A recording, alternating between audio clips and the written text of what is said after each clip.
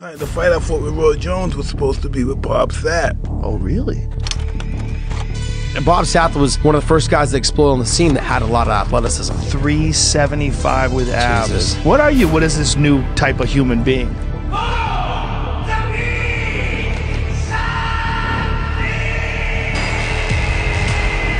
He was an enormous superstar in Japan. He's got muscles on muscles. That's got to be what, like 350? The best heavyweight in the world being manhandled by a monster. What a frightening experience it must be. But you know, even Fedor wouldn't fight Bob Sapp Yeah. in his prime. is like, Smart. get the f- out of Yeah. here. David and Goliath. It's so exciting to watch the fights where an athlete who is smaller in terms of size and from the first glance has low chances of winning, in the end gets the upper hand and oftentimes with a huge advantage. Not that long ago, we presented to you the compilation where small fighters beat the giants. And now it's time for the second part. If you want to see the third, let's get 10,000 likes and we will make it happen. Please don't forget about the likes, comments with forwards, and subscribe to the channel. Here we go. Kirill Sidelnikov against Martin Soltyczek. The first fight we're going to talk about today took place in March of 2008. At that moment, two beginner fighters collided in the cage and impressed everybody with their size. The Russian had a record of one win and one loss, and never looked small in comparison to his opponents, let alone his rival in the face of a representative from France whose record was 1 to 0. As soon as the fight took off, Soltyczek rushed at the Russian hoping to slay him with a heavy strike. Sedelnikov managed to dodge in time and withstand the attack. Then he began to actively move in the ring to not freeze in one place. Martin continued his onslaught and swung with the dynamite in his hands. Kirill avoided another dangerous attack. Compared to the Frenchman, the Russian fighter looked like a child, but that actually helped him to evade the flying strikes. A minute later, it became clear that Soltyczek got fatigued. He began to move slowly while Sedelnikov was only turning up. Every missed strike was making the Frenchman lose the last bits of his energy that barely kept him on his feet. And in the middle of the round, Kirill capitalized on that. He threw a huge overhand that landed right on the chin of his enormous opponent. And that was it. Deep knockout. Not at all. Oh, right hands punch, and that's it. Choi Hong Man against Zhou Jipeng. The first fight we're going to talk about today featured the worldwide known Korean monster. In the first part of the compilation, we already mentioned one of the Giants' fights when he faced Fedor Emelianenko back in those old and ruthless times in Pride. And this time, we chose the fight that took place on November the 6th of 2016. At one of the kickboxing tournaments of the local Asian promotion, Choi Hong Man went up against the young Chinese, Zhou Jipeng. The colossal difference in size and height between the athletes could be seen with the naked eye. And despite a clear decline, the 36 year old Korean monster was still terrifying people with his appearance alone. Choi Hongman didn't know how to approach his opponent for quite some time, as well as the Chinese. After a one minute walk, Zhou Jipeng decided to attack first and began to throw low kicks. The Korean was not in a hurry to get into action and just stalked his faster opponent. The referee even had to hint to the fighters at the fact that they need to start doing something, and it actually helped a bit. Ji Peng became more persistent with low kicks, while Choi made a couple of attempts to catch and attack his opponent. However, that was it, and the first round came to an end. The next three minutes kept on going in the same manner. A big and clumsy Korean monster desperately tried to catch his opponent with a crazy strike, while the Chinese representative surgically battered his legs and masterfully avoided any possibility of convergence. The third and final round was a bit more paced up. Choi Hong Man began to chase the agile Chinese who did his best to dodge the flying strikes. The most part of the round, though it was at a higher pace, was not significantly different to the first two, except for one clinch attempt in the second half and one connection from Ji Peng. Not with a low kick, but a clean uppercut to the Korean's chin. In the end, the Chinese earned a deserved win via unanimous decision. Number 2. Daniel Cormier against Antonio Silva. A huge Brazilian fighter who was 6 foot 3 tall was waiting for Cormier in the heavyweight Grand Prix semi-finals of Strikeforce. Enormous hands, legs and terrifying appearance of Bigfoot are mostly due to acromegaly, an illness that caused a pathological growth of body parts. However, health issues did not stop Silva from smashing his opponent one after another. Shortly prior to the fight with DC, Antonio beat the legendary Fedor Emelianenko and was looking to extend his winning streak. As for Cormier, he got into the semi-finals thanks to a replacement of an injured Alistair Overeem. The American started his fight with Silva slowly. He immediately entered a waiting mode and began to utilize low kicks.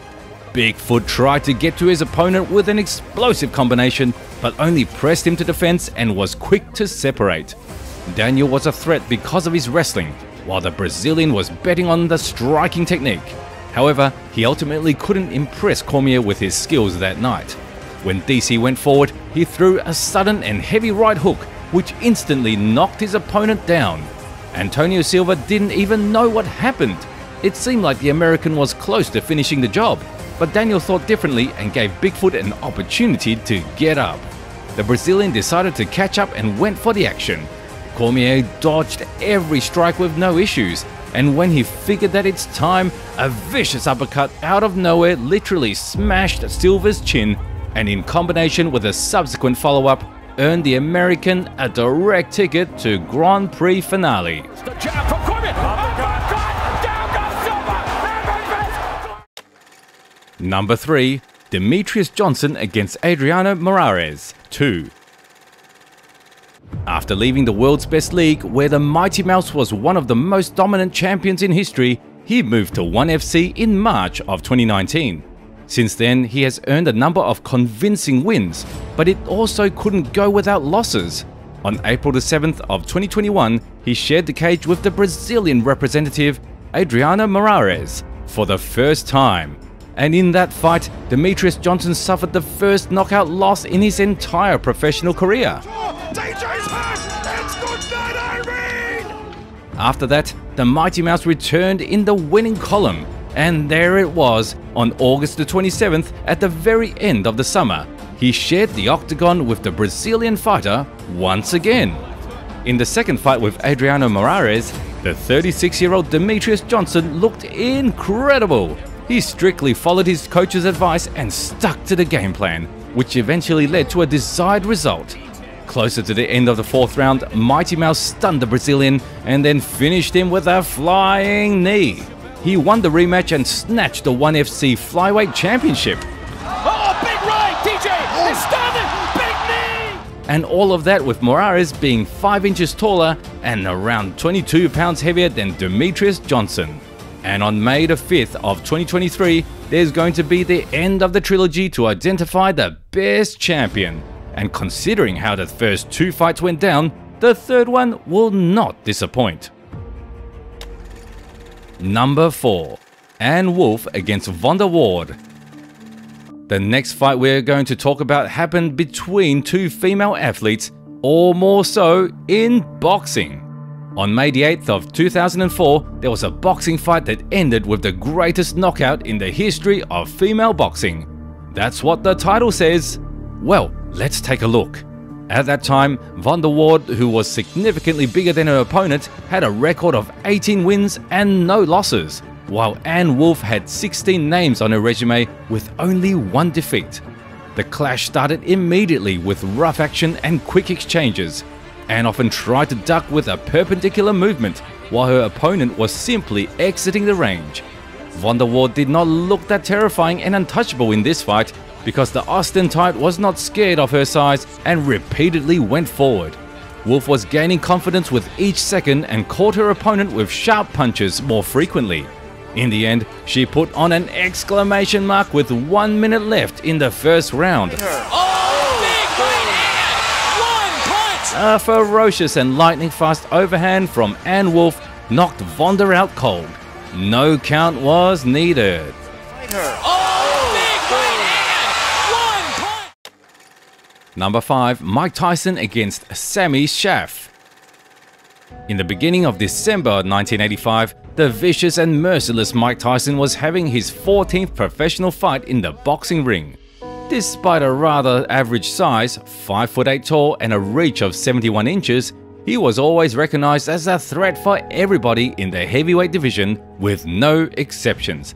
However, at the moment when Sammy Scaff, being 6 foot 3 tall, was supposed to be his next opponent, for some time it seemed like it was going to be a good test for Iron Mike's skills, but the reality was different. 19 year old Mike went after his opponent like a hungry beast literally right from the start. He chased him around the ring like a prey and pushed the pace with every second. Sammy Scaff simply had no time to react to the Iron One's actions. He often tried to separate and used the side movement only to avoid convergence and not get caught with deadly combinations. Mike absolutely didn't care what his vis-a-vis was doing. He persistently went forward and repeatedly hit his head with different punches. By the middle of the first round, his nose was already bleeding and the Iron One was just taking off. Eventually, another left hand from Mike literally took away any desire from Sammy Scaff to continue fighting. Tyson does not throw wild punches, Sam. That's, Big that's left hook. left hook. At that time, this was a 10th consecutive first round knockout win for young Mike. Number 6. Bob Sapp against Aori Gel. In July of 2016, the legendary freak fighter and simply a monster in Bob Sapp, who was also mentioned in the first part of our compilation, was up against the Japanese athlete Aori Gel. Their fight took place at Xiaomi Road FC 032 tournament. Despite all of his size, Aori Gel was still inferior to Bob Sapp in terms of weight and height. When the fight started, the American fighter cautiously moved towards his opponent. Sapp decided to initiate some kind of a clinch and was the first to attack. However, that worked as sort of a turn on button for the Japanese fighter. Aori Gel immediately stepped on the gas and began to barrage his confused opponent with looping strikes. Bob Sapp made a couple of counter-attack attempts, but none of them were successful. The Japanese knocked the American down and vividly finished him via TKO in just 39 seconds. Number 6. Enho against Hakuho. At the next spot, we have a clash that is rather uncharacteristic for our channel, in the sport called Sumo. However, it perfectly fits this particular video. On February the 9th of 2020, there was the 44th Fuji tournament, which was labeled as the strangest sumo match in history. The well-known in wide circles Yokozuna Hakuho was up against Enho, who was many times smaller. The clash started off in a typical manner for this kind of sport. The sumo athletes were searching for ways to win in attempts to collide. A faster Enho managed to evade Hakuho's movement and took the center of the circle. Yokozuna found the difference in size to be quite funny and stuck out his hand, keeping his opponent away and just smiling. Enho just stood and waited for a couple of seconds. When he figured that it might go for too long, he decided to attack. He pushed Yokozuna's hand, pulled him and grabbed his leg. After a little bit of fussing, to everybody's surprise, he simply tossed Hakuho. He put Yokozuna in his place, snatched a victory in this rivalry, and proved once again that a win in any kind of competition is not always dependent on the human's size.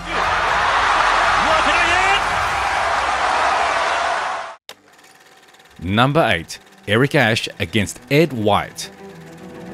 On December the 4th of 1997, the world witnessed the boxing match featuring Butterbean and White for the heavyweight IBA World Championship. This time round, it was Esch who took on the role of being a significantly smaller athlete compared to his opponent. At first, White was quite successful at keeping his opponent at bay and catching him with heavy shots, while Butterbean repeatedly tried to duck under the attacks and counter from a short distance. Eric Esch impressed many people with his durable chin in this fight because in the beginning, almost all of his opponent's strikes were easily reaching the target. However, Butterbean was not looking to give up on that night and continued to persistently go forward despite the damage. the fight gradually went to the second round. It became evident that Ed White started to breathe heavily. His strikes were no longer as sharp and fast as they were in the first round. And Esch, on the contrary, was just turning up. In less than half a minute, he sent his opponent down with a big right hand. The referee counted to 8, but White managed to get up, even though it was tough for him. Butterbean felt the blood and rushed for the finish. Soon, he ended the fight with another right hook that knocked Ed White out of the ring. Uh, Nashville, Tennessee. Yep. What a haymaker. Extra spot. Giant Silva against Akebono. At an extra spot, we have a fight between two huge athletes that competed in the same period and oftentimes were significantly bigger than their opponents. However, on that night, they went up against each other. In one corner, there was a fighter called Paulo Cesar Silva, nicknamed Giant, as his height was the record setting 7 foot and 5 inches. And on the other, a worldwide known sumo wrestler who was also mentioned in the first part of our compilation. Weighing more than 440 pounds, nicknamed the Great Champion Akebono. As soon as the fight started, the crowd erupted with excitement. Giant Silva went to attack the Great Champion. He tried to hit with looping strikes, but Akebono pushed him with all of his weight against the upper rope. The fighters spent some time standing in one position. The Japanese staff even had to hold them and the rope from the other side so it wouldn't tear because of the huge weight. Silva grabbed Akebono's right hand and tried to execute a Kimura. Then, Giant tried to take his opponent to the ground and landed on him while holding his hand. The broadcast team did not spare their vocal cords discussing such a spectacle until eventually Paulo Silva successfully executed his submission. There it is guys, leave your opinion in the comments below. Which of the aforementioned fights did you like the most? And of course, don't forget to subscribe to the channel so you won't miss the new videos. Hit the like button if you enjoyed this one, and that's it for today. See you soon.